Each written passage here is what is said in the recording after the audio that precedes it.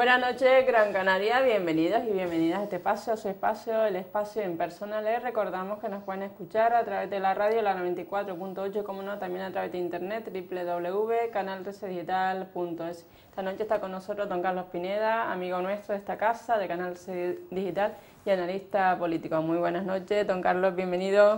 Buenas noches, María. Como siempre, un auténtico, verdadero placer estar aquí en Canal 13 Digital. Bien, esta semana llevamos arrastrando el tema de Bankia, una semana más. Mm, España se le está poniendo cara de Irlanda porque Irlanda también estuvo en una situación delicada y tuvo que ser rescatada. El miedo a Bankia es el miedo a España y sobre todo si crees que la situación financiera está controlada por parte del gobierno de Mariano Rajoy. Deben los responsables dar explicaciones ante, el Congreso los Diputados, ante los ahorradores, ante los inversionistas de Bankia, sobre todo en el baile de cifras que nos tienen un poco locos, que si 4.000, que si 19.000, que si 24.000 euros, parece eso un socavón, un socavón grandísimo, mayúsculo. Bueno, mm, para explicar un problema lo que ha pasado con Bankia, ¿no? Y cuando hablas de los responsables hay que ver cuáles son los responsables verdaderos. Sí, tendríamos que ir más atrás, o sea, no hablar de Rodrigo Rato ni el expresidente de, de determinados bancos, sino más atrás, ¿no? Eh, ¿Qué es lo que ha pasado? El, problema importante que tiene la, la banca española, la banca española se encontró dentro de una burbuja inmobiliaria donde apostaron al, sector del ladrillo de una manera muy, pero que muy importante, olvidándose de otros sectores a lo mejor fundamentales y estratégicos, como pueden ser el sector primario. También se dan créditos al sector primario, a, la pesca, a la agricultura, a la ganadería, o a la elaboración, a los productos elaborados, o a la misma industria, ¿no? Hay bancos que, bueno, hay algunos bancos, como por ejemplo el Banco de Bank Inter, que fue uno de los mm. bancos que no apostó por el sector inmobiliario, ¿no? Pero la gran mayoría de, de los bancos, y sobre todo de las cajas de ahorro, pues, pues, pues sí apostaron de manera pero que muy, pero que muy clara, ¿no? Hay que decir que no solamente para los pequeños eh, ciudadanos que se compraban su casa, sino los problemas grandes vienen cuando, bueno, pues promotoras venían con nuevos proyectos o macroproyectos urbanísticos donde costaban muchísimo dinero, donde estábamos hablando de parcelas inmensas, de, superficie a construir, y qué es lo que ha ocurrido, que ahora en realidad, sobre todo por la península, sobre todo por la, por la zona de la, de la, de la costa, del Levante, bueno, pues muchísimas urbanizaciones cerradas, ¿no? O que no se han terminado, ¿no? Porque ha habido una crisis que todos ya sabemos cuál es, que no se venden las casas, las casas están bajando sus precios de manera mm, de manera sindótica en algunos, en, algunos, en algunos puntos, hasta llegando hasta un 40%, ¿no? ¿Qué es lo que le pasó a, qué es lo que? Cuando nosotros hablamos de Bankia, Bankia hay que decir que no es un banco normal, bueno, ahora sí es un banco normal como tal, como lo, lo, entendemos, Bankia viene de la fusión de distintas cajas, ¿no? La más importante es la Caja Madrid y después está la propia caja de la Caja Insular de Ahorro de Canarias, hay otras cajas más y bueno, eh, al fusionarse estas cajas, sobre todo por el peso específico de Caja de Madrid, eh, se obtienen y transformarse en banco, ¿no? Hay que recordar que los bancos o las cajas, las cajas de ahorro controlaban el 54% del del sector financiero en España, ¿no? Eh, controlaban más que incluso que los propios bancos, ¿no? Eh, esta, esta, esta, caja, esta, este banco, ¿no? Bankia, que parte de esas fusiones, unas fusiones que hay que recordar que no, no, son de ahora, sino son fusiones que ocurrieron hace ya unos cuantos años. Bueno, pues entre, es uno de los bancos que probablemente que si nosotros cuando analizamos, porque después hay que analizar un poco en datos de manera más fría, cuando hablamos de, por ejemplo, los bancos, cuánto tienen, cuánto riesgo tienen mm. en el sector inmobiliario, hay que decir que son aproximadamente en, el tema del ladrillo o en el asunto del ladrillo o en créditos al ladrillo, bueno, pues tienen comprometidos 300, 304 mil millones de euros, ¿no? de los cuales 174 mil o 180 mil millones, bueno, pues son, son, son, créditos que no se están muy seguros si se van a cobrar o no se van a cobrar. Eh, por lo tanto, son, son productos contaminados, ¿no? ¿Qué es lo que ocurre? De, estos 174 mil millones, pues Bankia, Bankia tiene aproximadamente una sexta parte, ¿no? ¿Esto qué quiere decir? Eh, Bankia eh, prestó dinero a unos inversores, eh, estos inversores pusieron sobre la mesa para garantizar como aval unas propiedades que, bueno, que hoy en, la realidad del dinero que prestó Bankia o estas cajas de ahorro que después se formó, se formaron, se formó Bankia, el valor de estos terrenos es muy inferior probablemente hoy hasta el 40% en algunos casos de lo que prestaron, ¿no? Entonces, por lo tanto, esos créditos no están garantizados, ¿no? Mm.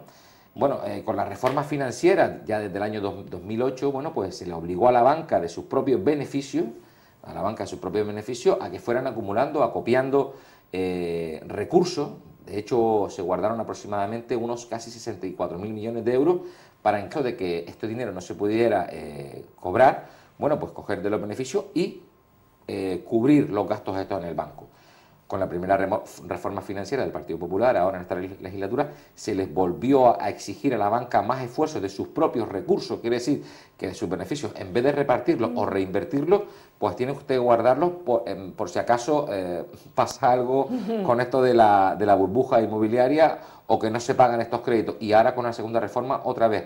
Por lo tanto, de estos 174.000 millones de euros hay garantizados de que aproximadamente unos 110 o 109.000 millones de, euros que van a ser eh, aplicados con los propios fondos, con los propios fondos del banco. ¿Qué es lo que ha pasado con Bankia? Con Bankia, un banco que arrastra una situación bastante complicada, un banco que eh, tiene manejaba una sexta parte del volumen inmenso este de, préstamos al ladrillo, bueno, pues no ha sido capaz, no ha sido, no ha sido capaz eh, de salir adelante, entre otras cosas, porque no se puede financiar ni siquiera en el exterior, porque claro, al mirar sus cuentas y los que prestan el dinero, los otros bancos, las entidades, dicen, mire, es que nosotros no le podemos prestar porque usted tiene mm. demasiado riesgo. Entonces, claro, Bankia es un banco, un banco, es la cuarta entidad más importante de España, eh, dentro de Europa es un banco con un peso importante, eh, hay, que, hay que diferenciar entre los accionistas de Bankia y eh, las personas que tienen depositado su dinero, ¿no? los, depósitos bancarios están garantizados por el Estado. Bueno, pues el Banco Matriz de Bankia, BFH creo que BFA, bueno, pues fue, fue privatizado por, por el Estado porque no cumplía.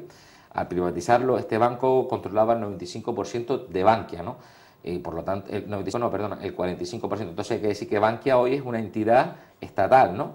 Y por lo tanto, como es una entidad estatal y lo que nosotros necesitamos es que ya de una vez por todas, porque uno de los problemas importantes cuando nosotros hablamos de la crisis económica, de la crisis financiera, es que empiece a fluir el crédito, es que tenemos que dar eh, garantía y solvencia, ¿no? Yo creo que el Estado ha hecho bien, en, primero, en privatizar, eh, en nacionalizar el banco y después, bueno, en poner lo que haga falta para sacarlo adelante, porque si no sería un riesgo verdaderamente asombroso no solo para los accionistas, que los accionistas probablemente en el futuro recuperarán sus acciones o, el valor, que es lo lógico, porque hay que recordar que cuando Bankia salió, salió en bolsa, eh, se vendieron las acciones de Bankia, bueno, de todo su valor, de todo lo que costaba, se dividió por la mitad y se puso su precio a la mitad, ¿no? Así que por lo tanto son unas acciones que en realidad después de esas caídas impresionantes que tuvieron en, el IBEX 35, bueno, se recuperó al día siguiente de manera que ni siquiera los analistas, eh, los analistas económicos entendían, ¿no?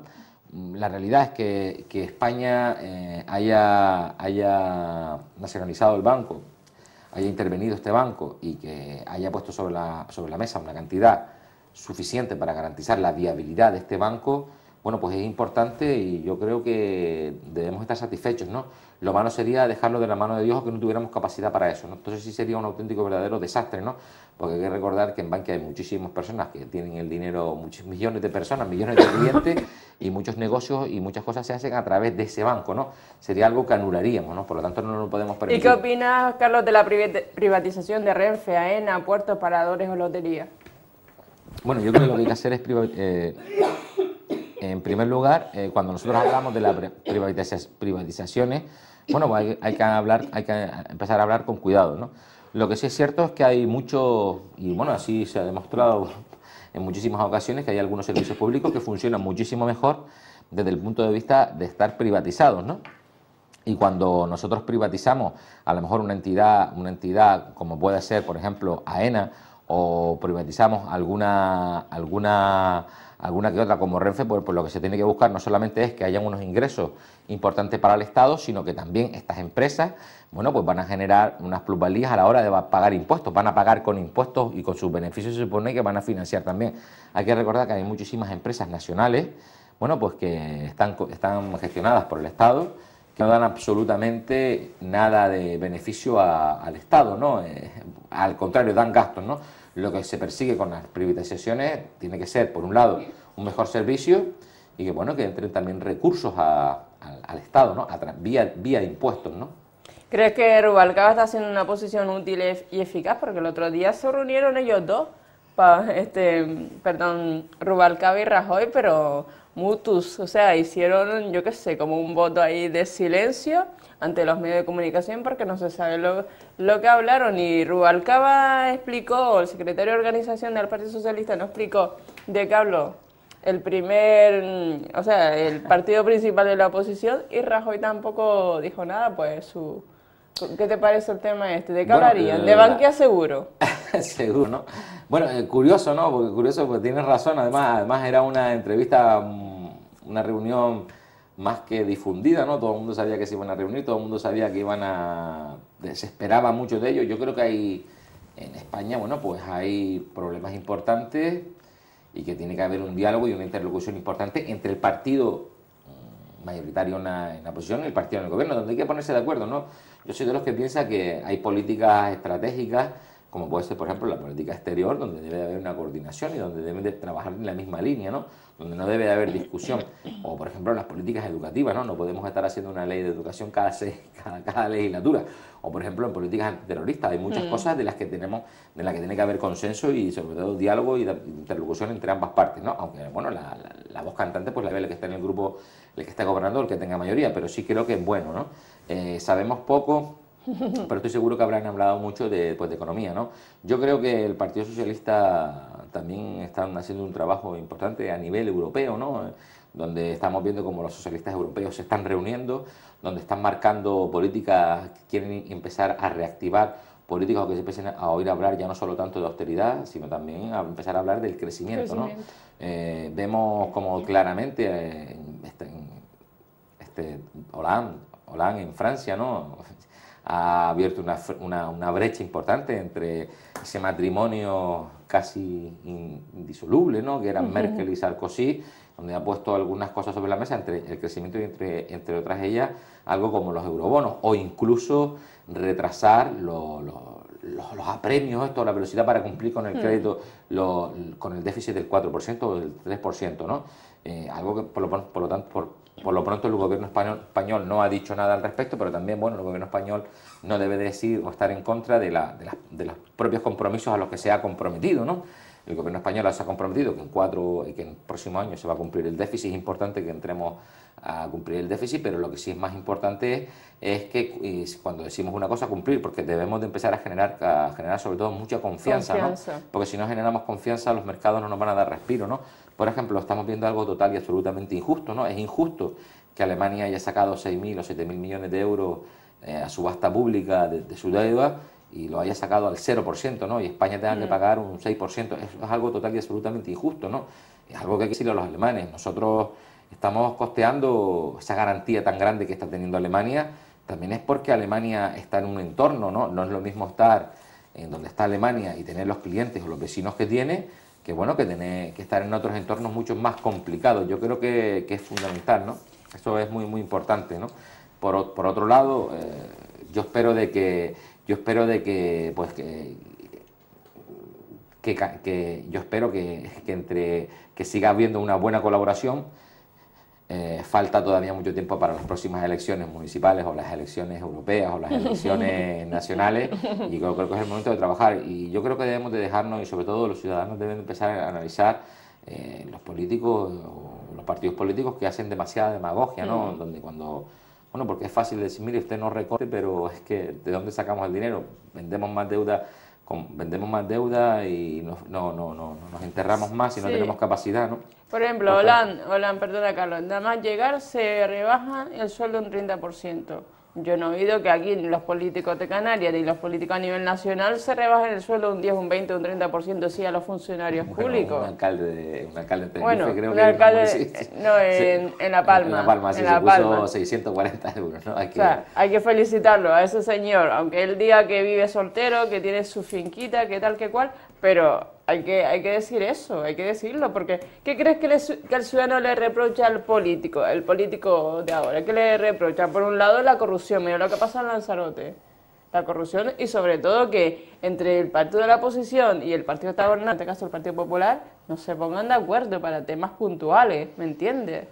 Eh, son, yo creo que son bueno, cosas distintas y yo creo que lo que sí hay es un desánimo o una conjura, ¿no?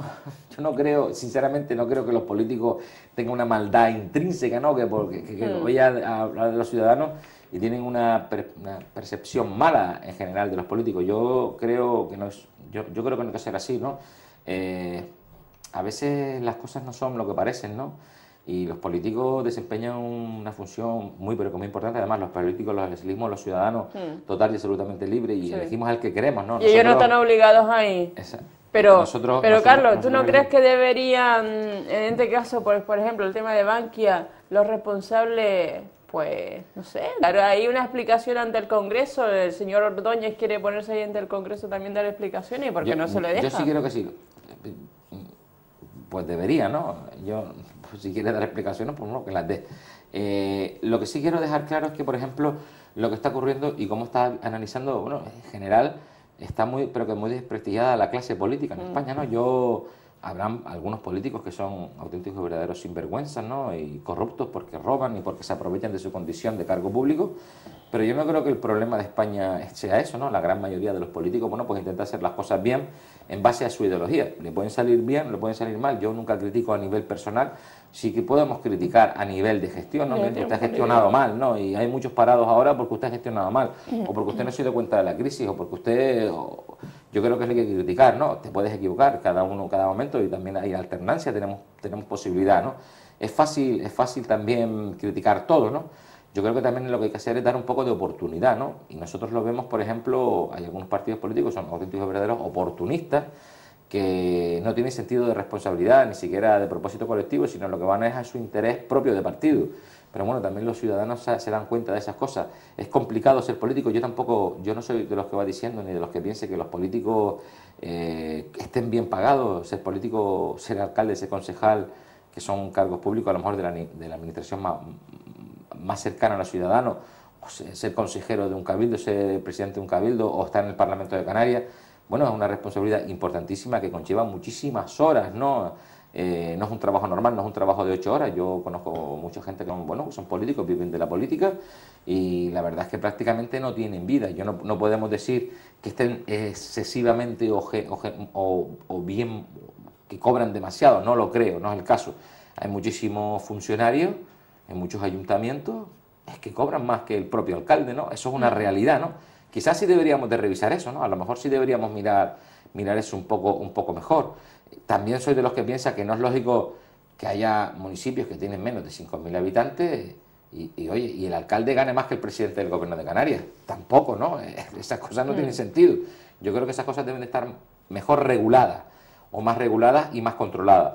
Eh, por otro lado, mm, la situación que en la que estamos viviendo en España tampoco se la podemos achacar directamente, única y exclusivamente a los políticos, porque, oiga, cuando la situación en España iba bien, tampoco le echábamos la culpa de todos los políticos. Nosotros vivimos en un contexto internacional donde nos afectan muchísimas cosas y cuando le van bien a nuestros compradores, como es por ejemplo Francia o por ejemplo otros países que nos exportan, que nos compran, que compran nuestro producto o, concretamente en Canarias, ¿no? El bajón que tuvimos con el turismo alemán o el turismo mm, inglés, por las devaluaciones, por la crisis financiera o por la crisis económica que tuvimos, bueno, por eso nos repercute. Nosotros no vivimos en, en un contexto aislado, al contrario, estamos en un mundo total y absolutamente globalizado. donde tenemos que apostar y tenemos que dinamizar y tenemos que ser más competitivos. Tenemos que apostar por ahí.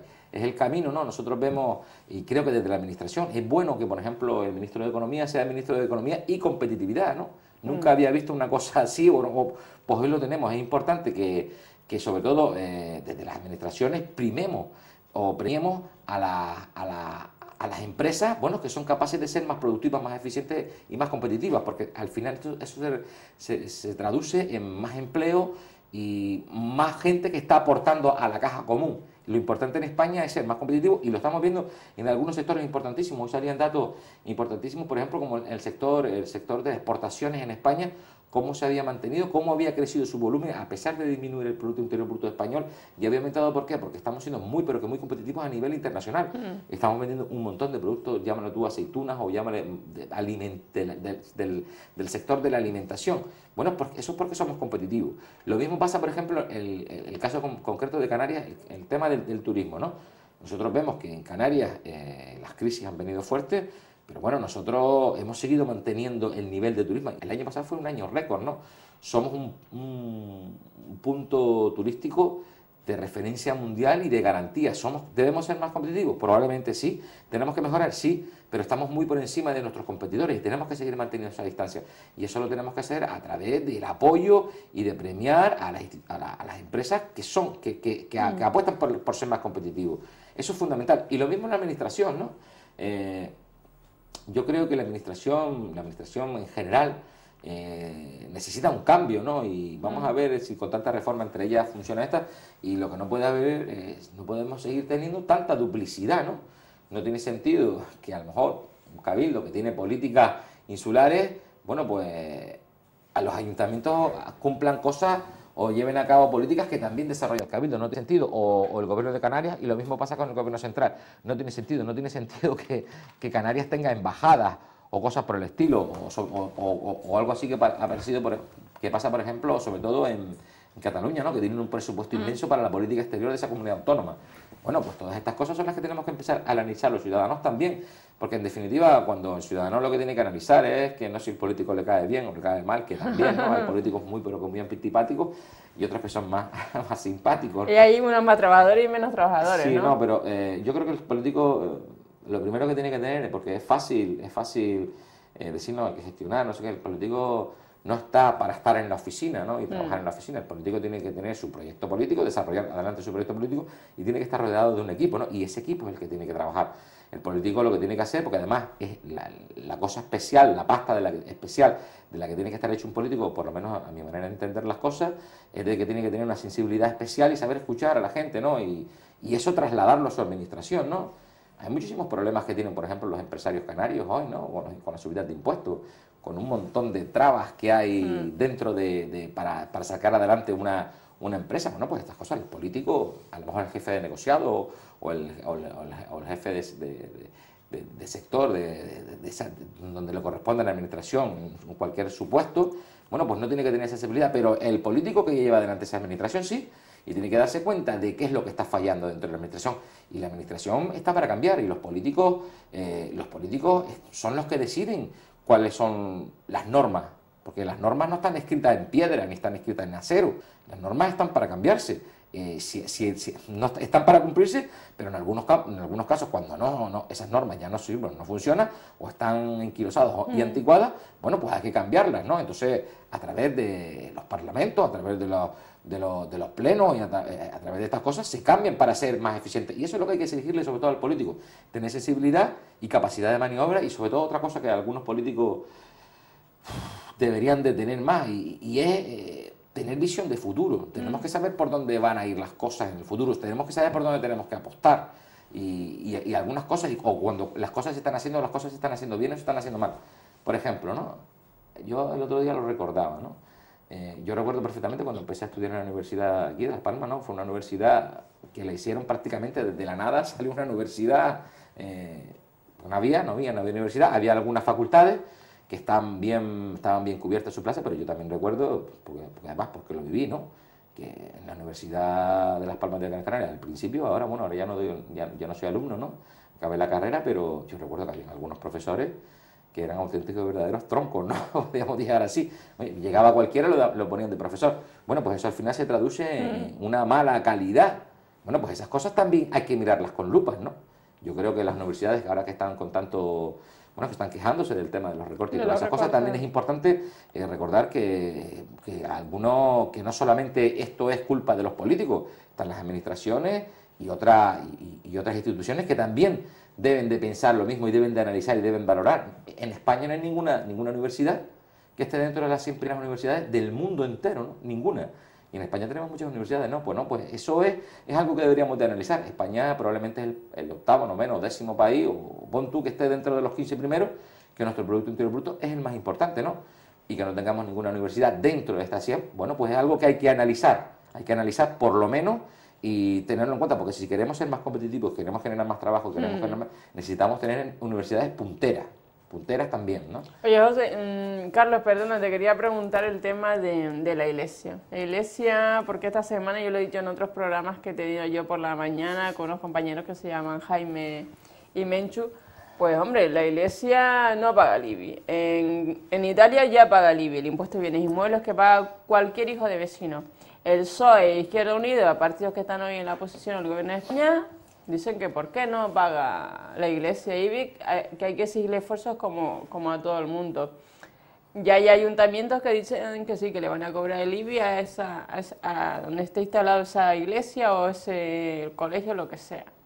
¿Qué piensas tú del tema de, del IBI de bueno, la yo iglesia? creo que hay que saber diferenciar las cosas, ¿no? Yo, sinceramente, mi opinión personal es que, eh, oye, si la iglesia... Bueno, ya el PP ha dicho que no, que no va a pagar y el Si la iglesia un jefe de ellos también dijo que no. si que la iglesia tiene eh, un, un bien, un bien- una casa, un edificio que no se está utilizando para templo, que no se utiliza, eh, no sé, pues tiene un edificio, pues, no sé, de casas o de locales comerciales, que es el caso, el supuesto que se da en Italia, Hmm. creo que en Italia, pues a esos, a esos, a esos, a es- a esos, a esos bienes inmuebles, pues se les cobra el IBI, ¿no? Lo que no me parecería justo, por ejemplo, cobrar el IBI, por ejemplo, a, la- las propias iglesias o a las catedrales o a los templos, ¿no? Creo que no, entre otras cosas porque... Y hay muchísimos aspectos, ¿no? Nosotros vemos, a lo mejor aquí en Canarias hay, algunos sitios que son muy, pero que muy importantes, pero bueno, en la península se ve más, ¿no? Eh, los atractivos turísticos de muchísimos pueblos, incluidos de Canarias, ¿no? Te vas a Terón, te vas a Aruca, pues probablemente el atractivo turístico es un bien inmueble que pertenece a la iglesia, ¿no? Eh, un bien inmueble que, que yo no entendería, no, no tendría sentido que le cobráramos el IBI, entre otras cosas, porque la actividad turística o la actividad de visita, los visitantes van a ese sitio para ver ese inmueble, ¿no? Es como si a lo mejor, bueno, pues cobraran después los, los curas porque tú entraras a visitarlo, ¿no? También tampoco lo vería bien, ¿no? Eh, yo creo que en ese sentido también hay que recordar que la iglesia, bueno, que ahora tiene mala, mala, Sí. tiene mala imagen, ¿no? Parece que son también, tampoco creo que los curas sean intrínsecamente malos, habrá de todo también. Ahora están persiguiendo hay no cura- solamente... Hay cura, claro, hay cura buenos, Bueno malos, malo. muy malos, que yo conozco alguno que es muy malo también. Eh, sí, porque es verdad. Eh, yo creo que, bueno, que la iglesia también es una institución que siempre ha estado, por lo menos lo que he visto yo y lo recuerdo, y alguna vez, en alguna que otra ocasión lo he dicho, ¿no? Recuerdo cuando, bueno, empezamos con esa enfermedad tan mala que es el VIH, el SIDA, ¿no? Bueno, pues los primeros que, Mm. los primeros que ayudaron, cuando los médicos no sabían ni lo que era, que no querían acercarse, los curas estaban ahí, ¿no? Las monjas, los, los- y todas estas cosas. Yo creo que ellos han realizado una labor importante. Ideológicamente pueden, de- hay dentro de la propia iglesia hay muchísima ideología. Es cierto que ahora a lo mejor con- controla la iglesia una ideología más conservadora, en otros momentos ha sido otro tipo de ideología. Pero lo que sí es extraño es que el Partido Socialista, por ejemplo, ahora de repente, bueno, pues diga eso y hace nada, ¿no? Hace seis meses no lo decía, ¿no? No, y- o siete meses, o un poco cuando o- estaban gobernando ellos. Yo creo que Claro. también es subirse un poco al carro. Las cosas Al no carro. son como lo parecen, hay que explicarlas bien. Yo creo que a través de Cáritas, yo creo que a través de otras instituciones, bueno, pues la Iglesia está realizando una, una labor importantísima y desempeña una labor tipo ONG que si nosotros la financiáramos desde el Estado con funcionarios, con una administración para realizar esa labor, probablemente costaría tres, cuatro, cinco o seis veces más de lo que cuesta con el trabajo que hacen los, los curas, ¿no? En ese sentido, yo creo que por lo tanto hay que saber diferenciar y yo creo que a lo mejor si tienen bienes inmuebles con locales comerciales que alquilan o centros comerciales que alquilan, ¿no? En Italia el supuesto es que creo que los, los que más mm, locales comerciales tienen son es la propia iglesia, pues en ese sentido, si tienes un local comercial al que si tú le vas a sacar un beneficio, no es, una, no es algo sin, sin ánimo de lucro, al contrario, es algo con ánimo de lucro, bueno, pues, pues está es lógico y, y- y natural de que tú pagues tu IVA igual que el resto, ¿no? Pues si no sería algo total y absolutamente injusto. Eh, aquí, pues, exactamente lo, mismo, ¿no? Nosotros, eh, yo no sé si una asociación de vecinos, bueno, pues tiene que pagar el IBI por su local o, o- algo por el estilo. Las asociaciones sin ánimo de lucro, bueno, deben de estar exentas de esas cosas y entre ellas el IBI, ¿no? Yo no creo que tampoco que pagando el IBI vayamos a solucionar todos los problemas de esta crisis, ¿no? Y la de los recortes, ¿no? Otro tema importante, bueno, me refiero aquí al tema de Canarias.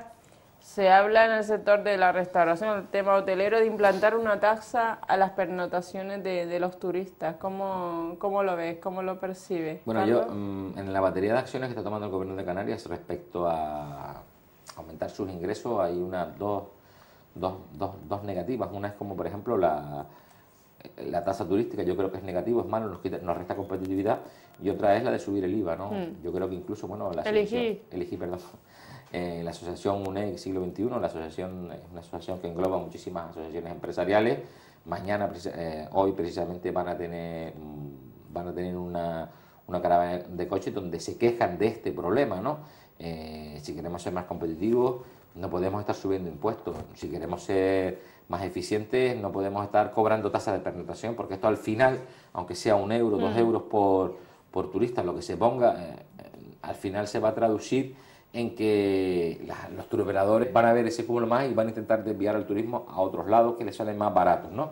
Eh, esto es importante decirlo Y también es, importante decirlo, ¿no? Cuando nosotros hablamos de las políticas están de moda ahora, porque ahora todo el mundo, la crisis nos ha, hecho aprender de economía, ¿no? Las políticas keynesianas son las políticas de Keynes, el economista. Pues oye, cuando hay crisis, lo que hay que quitar son impuestos, lo que hay que hacer es bajar el precio del dinero, lo que hay que hacer es reactivar la economía y la inversión pública, ¿no? Pues esto, esto mm. camina en el otro sentido, ¿no? Nosotros tenemos que ser más competitivos y yo creo que si queremos que el, el Producto Interior Bruto canario de verdad se dispare y de verdad empiece a caminar y de verdad sea capaz la, la economía canaria de absorber todo, todo nuestro mercado laboral, eh, no va a pasar por ahí, sino va a pasar por otros, otros aspectos como son empezar a, empezar a analizar el modelo económico que tenemos. ¿no? Nosotros apostamos demasiado por el turismo, eh, tenemos, que empezar, tenemos que empezar a apostar por otras cosas, ¿no? tenemos que empezar a reactivar sectores importantísimos como son el sector primario en Canarias, ¿no? Es de vergüenza, ¿no? Es casi, es casi algo asombroso que hace 10, 12, 14 años el Producto Interior Bruto de Canarias, nuestro Producto Interior Bruto total, bueno, pues entre el 12 y el 14% dependía del sector, del sector, del sector primario. Mm. Hoy no representa ni el 3%. Yo creo que es algo total y absolutamente catastrófico y eso quiere decir que en Canarias hay menos agricultores, en Canarias hay menos ganaderos, en Canarias hay menos pescadores. Eso es algo muy, pero muy negativo, ¿no? Y yo creo que desde la Administración Canaria sí se puede trabajar, sí se pueden hacer políticas que vayan encaminadas a que este sector sea eficiente, que sea más, más competitivo, que sea, mm, sea capaz de competir con los competidores, ¿no? Eh, no es justo lo que pasa con los productos canarios, productos de calidad, productos eminentemente sanos, nuestros productos de toda la vida, que están siendo, estamos siendo invadidos por otro tipo de mercancía. Yo sé que a través de las administraciones o a través de las instituciones es complicado, estamos dentro de la Unión Europea, tenemos que respetar nuestros tratados, pero yo sí creo que, por ejemplo, los empresarios y empresarias canarias deberían de empezar a, a tomarse esto más, más en serio, empezar a, a trabajar eh, desde el punto de vista de que hay un sector, como es el sector primario, que tenemos que reflotar. Yo creo que las cadenas de distribución, los restaurantes, los pequeños supermercados, incluso las grandes superficies, que hay algunas también en Canarias, bueno, pues que mm. empiecen a darse cuenta y empiecen a tirar y empiecen a apostar por el sector primario canario, porque al final lo vamos a sacar adelante. Y los hoteles también, ¿no? Exacto, ¿no? yo me refiero en general a los grandes distribuidores y yo creo que esto es fundamental. Eh, es algo que no se está haciendo y es algo que estamos perdiendo. Cuando nosotros perdamos nuestra pesca, nadie nos va a, va a, venir a enseñar cómo se pescaba aquí antes, ¿no? Cuando se, una, una, o dos generaciones dejen de pescar, esto va a pasar. Lo mismo va a pasar con la agricultura, lo mismo va a pasar con la ganadería. Esto es inconcebible y es una cosa de, la que tenemos que apostar, de la que tenemos que caminar. Si de repente nuestro Producto Interior Bruto creciese 7, 8, 9 o 10 puntos por, por el sector primario, es absurdo. Es absurdo que nuestro sector primario no represente en Canarias ni siquiera el 3%. Es, es una cosa eh, que no tiene sentido de explicación, pero es una realidad. Cualquier sociedad, cualquier sociedad moderna, cualquier sociedad eh, competitiva en el mundo, Japón, Alemania, tienen un sector, tienen un sector industrial importantísimo, pero es que después tienen un sector primario importantísimo en ganadería, en agricultura.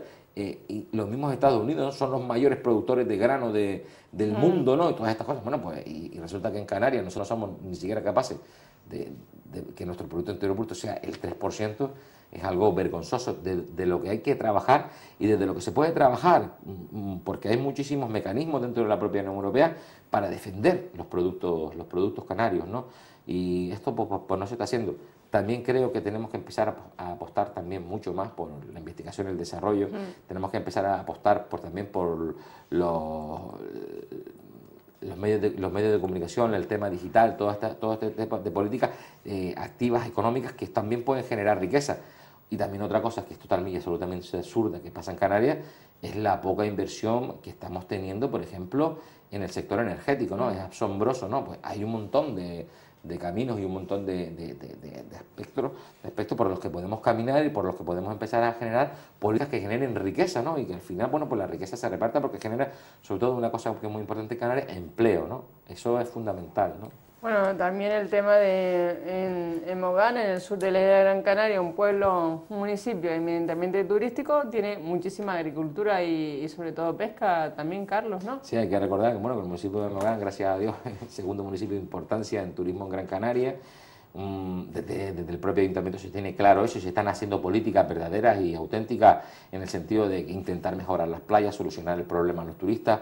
Eh, hay un, diálogo para reactivar la economía con los propios empresarios, donde se hacen muchísimos eventos y donde también se intenta defender el municipio de Mogán es un municipio que, bueno, pues si en Gran Canaria hablamos de que cada vez hay menos cofradías de pescadores, son instituciones fundamentales para que los pescadores puedan desempeñar su labor, bueno, pues en Canarias, si hay poquitas, bueno, pues Mogán tiene dos, las dos que siempre ha tenido. O, por ejemplo, también tiene varias asociaciones de, agricultores, ¿no? Yo creo que esto es fundamental y yo creo que desde Mogán se pueden hacer muchísimas cosas desde, el sector, desde el sector del mm. turismo, que ya se hacen. Si, si, si, si San Bartolomé de Tirajana es el corazón turístico o el motor, bueno, pues pues, pues, pues Mogán no se queda atrás. Mogán es un municipio turístico importantísimo que genera muchísimos puestos de trabajo, no solamente para el municipio de Mogán, sino para el resto de la, de la isla. Por eso también desde las instituciones superiores o supramunicipales deben de tener una sensibilidad especial con esos municipios. Por ejemplo, eh, yo, lo, yo siempre lo digo porque me doy cuenta, ¿no? Eh, el, municipio de, de Mogán soporta unos gastos por ser o tiene unos costos especiales por ser municipio turístico que después a lo mejor no se reflejan en el aporte que se realizan desde otras administraciones, ¿no? Eh, por ejemplo, en el, tema de la limpieza, limpieza de todas las playas, ¿no? No van las mismas personas a las playas, a lo mejor de, no sé, pues, pues, de Gáldano de, o, de, Guía o de, o, de, estos sitios que a las playas de Mogán y a lo mejor en esos municipios hay muchísimos más habitantes, pero la realidad es que allí van, allí tenemos una media de aproximadamente 35.000 turistas eh, fijos en ese municipio, aparte de los ciudadanos, ¿no? Eh, esto es importante, o lo mismo con la policía local, tenemos unos cuerpos de policía que tienen que estar con más, con, más dotados, ¿por qué? Porque tenemos un número importante de visitantes, o la limpieza o la recogida de basura, todas estas cosas, ¿no? Todas estas cosas hacen un sobrecosto a los ciudadanos que vivimos, por ejemplo, en municipios turísticos, que desde las otras administraciones deberíamos de tener en cuenta, y ya de una vez por todas debería salir, bueno, pues la ley de municipios turísticos, ¿no? Que creo que es fundamental, ¿no? Y algo por lo que debemos, debemos caminar. ¿Cómo está el tejido empresarial en Mogán? Porque Mogán también tiene sus asociaciones de, pymes, ¿no? De pequeñas y medianas empresas. Sí, bueno, una de las más importantes, la asociación Sebastián Martín es el presidente, es AMEM, ¿no? Una asociación que está realizando una labor importante, un trabajo eh, de fondo, eh, muchísimo, solucionando muchísimos problemas a los propios, a los propios empresarios, ¿no? Hay que recordar que el 85% de las empresas en el municipio de Mogán son pequeñas y medianas empresas que generan a su vez prácticamente el 90% de los puestos de trabajo. Bueno, pues a través de la asociación se trabaja y se colabora para sacar adelante todo este tipo de proyectos. se realizan en, número, en, muchísimas ocasiones eh, la feria de Mogán Saldo, ¿no? Para mm. reactivar la economía eh, o para atraer a los turistas. Bueno, se realizan muchísimas cosas y es fundamental. Y también es fundamental que desde las administraciones, bueno, pues se tenga en cuenta y se escuche sobre todo a este tipo de, a este, a este tipo de asociaciones, ¿no? ¿Qué, tipo de turistas tiene, tiene consolidado Mogán, sobre todo? Bueno, el, municipio de Mogán a lo largo de la historia ha ido cambiando, rotando el, turista, ¿no? Digamos que ahora mayoritariamente hay un turista, un turista excelente, ¿no? Que es el turista, pues, turista noruego, ¿no?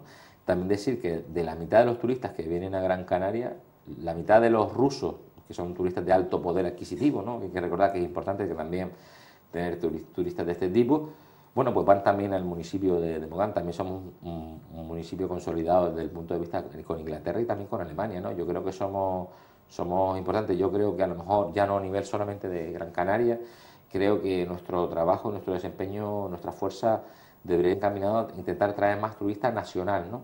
Normalmente, no sé por qué, bueno, pues la mayoría de los turistas nacionales pues eh, prefieren más el destino de Tenerife, ¿no? O van más a Tenerife. Quizás se han promocionado más. más, Yo creo que es importante, y si tú le preguntas o vas a la península, muchos de los que han venido, una, una parte importante, bueno, pues han ido a Tenerife. Yo creo que es una parte fundamental, ¿no? Porque también creo que hay épocas del año en las que deberíamos de... Nosotros tenemos una época fuerte de turistas, que es desde octubre a mayo, y yo creo que después hay otra época en la que deberíamos de, poder mm, atraer a más, a, más, a más turistas y sobre todo turistas nacional. También el momento coyuntural en el que estamos es difícil, ¿no? Porque bueno, las cosas no están para muchas familias poder hacer vacaciones a lo mejor en Canarias, pero bueno, Canarias tampoco está tan lejos y esperar, bueno, sobre todo hacer un trabajo más en ese sentido.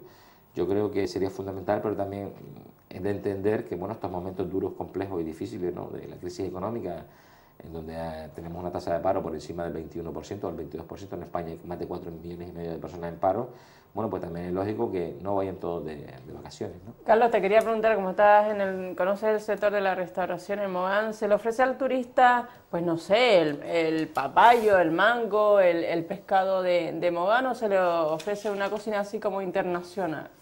Bueno, pues hay un poco de todo, ¿no? Eh, también es el gusto del turista, ¿no? Hay restaurantes que se especializan más en lo canario, ¿no? Donde sí se explota más la idea del producto canario, que yo creo que debería de ser más, ¿no? Y debería haber más interlocución entre los mismos productores del sector primario y los propios empresarios o distribuidores, o, los que ponen la venta al público al final.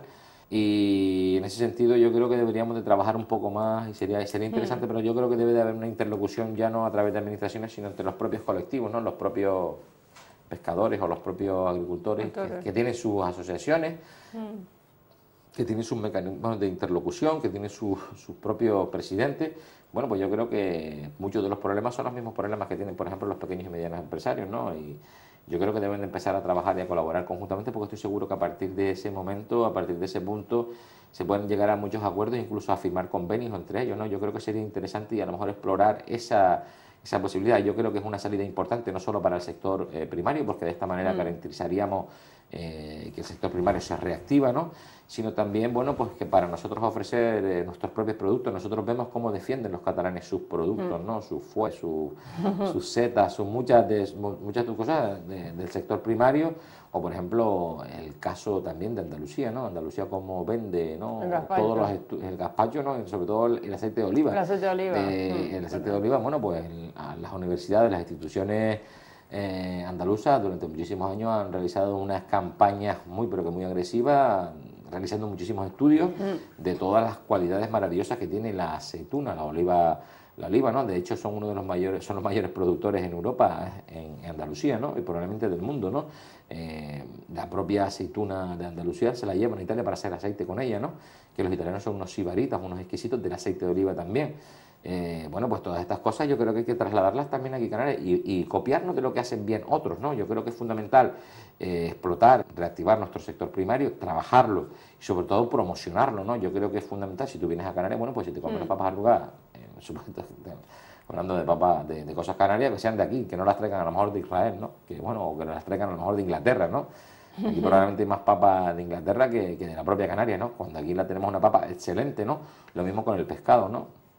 Yo creo que hay suficiente pescado y a lo mejor no apostar tanto por a lo mejor por, otros tipos de productos o otras muchísimas cosas, ¿no? Los tomates, los plátanos, las papayas, los aguacates, eh, los quesos canarios, los quesos son, son a nivel mundial son referentes, ¿no? son, referentes. Bueno, pues, pues todas estas cosas, ¿no? Yo creo que hay un camino y que no es un camino muy complicado. Por ejemplo, mm. y cuando nosotros hablamos el sector primario no es un sector sobre el que haya que hacer unas inversiones excesivamente importantes. Tú si tienes por ejemplo, cuando, un ejemplo así que ponemos para, para, para, que nos demos cuenta un poco, cuando cayó la Unión Soviética, o el círculo, el, el telón de acero que alrededor de los países, bueno, a Rusia, sobre todo a Rusia, le costó mucho salir adelante porque Rusia era un país muy industrializado.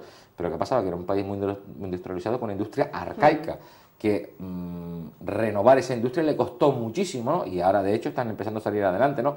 Sobre todo por su, su materia prima. Pero otros países, otros países que estaban dentro del propio telón de acero, como fue la propia Polonia, Polonia fue un país que no estaba tan industrializado, se dedicaba más al sector primario, eh, enseguida con poca inversión, con pocos recursos y con mucha voluntad y con muchas ganas, sobre todo de las administraciones, bueno, pues se renovaron y el sector primario se adaptó. No es lo mismo invertir en una fábrica de coches que a lo mejor en un invernadero para hacer plátanos o en un invernadero para hacer pimientos, no, no es lo mismo, ¿no? Eh, yo creo que esto son cosas que no son tan complicadas, que no necesitan tantos recursos y que a lo mejor desde la administración, eh, y a lo mejor casi sin poner o apostar desde la, desde la administración, sino a lo mejor desde la administración, con dejarle un poco más de espacio al sector primario, no tener esa presión administrativa tan encima, eh, ese mm. asfixia, ¿no? Porque hay administraciones en Canarias y, por ejemplo, a los pescadores, a, los propios agricultores, a los propios ganaderos, que oye, que parece que las administraciones están ahí como si fueran auténticas y verdaderas inquisiciones, ¿no? Mm. Oiga, no se mueva, no coja, oiga, como coja este pescado, uf, le, cerramos el barco, le quitamos el barco, ¿no? Casi te ves a unos momentos como si fueran delincuentes, ¿no? Yo creo que no, yo creo que tenemos que tener, empezar a tener un poquito de sensibilidad. O muchos agricultores que a lo mejor están limpiando su terreno y vienen en esto, vienen con una multa porque usted no podía limpiar esto. Eh, hay demasiadas cosas y demasiadas cosas complicadas. Yo creo que desde las administraciones y desde, los políticos que tienen que tener, que antes lo decíamos, tienen que tener una sensibilidad especial, tienen que empezar a prestar eso. Yo sé que, yo sé que también a lo mejor hablar del sector primario eh, yo sé que hay que hablar de otros sectores y que el futuro, eh, nuestro futuro pasa por otras cosas, pero también pasa por ahí, ¿no? Y es algo de lo que estamos viendo que cada vez hay menos y que cada vez es más complicado, ¿no? Yo creo que es algo que desde la propia administración canaria, desde los propios ayuntamientos, cabildo o gobierno de Canarias se puede, se puede trabajar para empujar, ¿no? yo creo que yo creo que va a tener que ser así porque es que incluso ahí parece que hay una nueva generación donde muchísima gente se quiere, joven se quiere dedicar a la propia agricultura, algo, algo, sorprendente, ¿no? Mm. Cuando todo el mundo quiere estar con los ordenadores, la informática o telecomunicaciones, bueno, pues eso es algo que es bueno, mm. que creo que debemos de aprovechar, ¿no? Y es que además ah, hoy, hoy con los medios de los medios de, de producción agrícola ya no hace falta estar 40, 70 eh, horas a la semana en la finca, ¿no? Hay otros medios más modernos donde tú, mm. tecnológicos donde tú mm. puedes adecuarte, ¿no? Yo creo que, sería bueno a lo mejor empezar a explorar ese camino, como también lo es bueno pues empezar a explorar el camino del sector, el sector industrial y también, sobre todo, pues algo que es fundamental, ¿no? Nosotros estamos en un punto estratégico que no estamos utilizando, ¿no? Nosotros, nuestro punto cuando, donde estamos nosotros en Canarias, en el punto concreto que estamos, estamos entre dos continentes, entre tres continentes mm. fundamentales, estamos en un sitio de paso, mm, bueno, pues, pues, pues más parece una dificultad que que sea una bendición. Yo creo que tenemos que virar la tortilla, tenemos que empezar a tener políticos que tengan visión y capacidad de futuro para empezar a realizar esas cosas. África es un continente con muchísimas oportunidades. Es cierto que África es un continente con países muy, pero que muy complicados, con los que hacer negocios a veces muy, muy, pero que muy difícil. Pero yo creo que ya llevamos oyendo 30 años que el futuro es África, que el futuro hay que invertir, que hay que buscar, que hay que estrechar relaciones económicas. Yo creo que es el momento de, hacerlo ¿no? Ya, y, dejarlo, dejarnos de decirlo tanto. Carlos, para ir finalizando, no nos olvidemos que esta semana es el Día de Canarias, el 30 de mayo, Día de Canarias un deseo para, bueno, pues yo, para, para nuestra comunidad autónoma. Bueno, pues yo, eh, la verdad es que de aquí a todos, a, todos, a todos, a todos y a todas las Canarias les deseo bueno que pasen un buen día, un buen día feliz de un, día de Canarias. Pero sobre todo me quería acordar, yo que sé, estos momentos es difícil y complicado porque lo, lo, lo, veo, ¿no? Eh, muchísima gente, conozco muchísima gente que, bueno, que necesitan trabajo, ¿no? Yo creo que es fundamental que en Canarias de una vez por todas empecemos a conseguir a reactivar nuestra economía, que seamos capaces de absorber nuestra mano de obra, en muchísimos casos mano de obra muy, pero muy cualificada. Yo este día, bueno, pues se lo dedico a todos y a todas esas paradas que no encuentran trabajo, ¿no?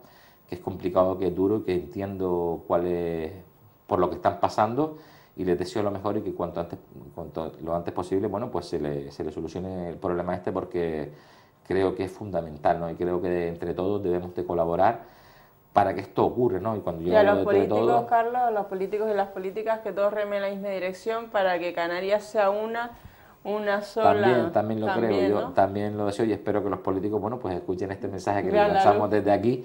Y es complicado, es difícil, pero yo creo que también hay responsabilidades. Muchos políticos, antes lo decía, no creo que los políticos sean, tengan una maldad intrínseca dentro, sino que yo estoy seguro que la gran mayoría están en política porque quieren solucionar las cosas desde su punto de vista, pero lo que sí hay problemas importantes, como por ejemplo lo del paro, mm. que el próximo año, cuando volvamos a celebrar el Día de Canarias, pues que haya en Canarias unos cuantos miles de parados menos, ¿no? Ese es mi deseo, ¿no? Y también esta semana creo que ahora ya tienen las fiestas en Mogán, San Antonio Abad, creo, que tienen ya ahora las fiestas la próxima, este fin de semana y que todo sea un éxito para la organización. Seguro que lo va, a ser porque además llevan muchos años organizando las asociaciones vecinales y lo realizan de manera excelente. ¿no? Desde aquí los quiero saludar también y felicitar por la buena labor que desempeñan por el municipio, que también es una imagen para, para el resto de, de, Gran Canaria. ¿no? Muy bien, gracias Carlos por estar aquí esta noche. Gracias, gracias a ti, María. Espero que si, si el Día de Canarias pues van al municipio de Mogán, primero cuidado con la carretera y segundo, probar el pescadito frito, sobre todo una ensalada